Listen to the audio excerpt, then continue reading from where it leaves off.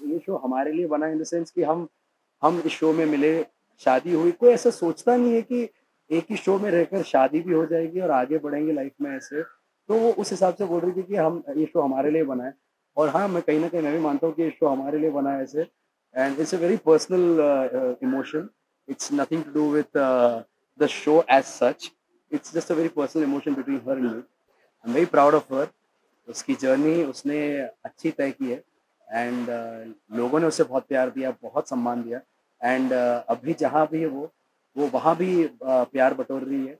And I am very happy for for for her and for fans so keep supporting her guys of course बताया she is she is also extremely emotional about this but at the same time एक journey है कभी ना कभी जैसे शुरू हुई थी खत्म भी होनी so we very practical in that sense so शुरुआत हुई थी वो पहले जा चुकी है तो उसे बोला था कभी ना कभी तो होना ही था।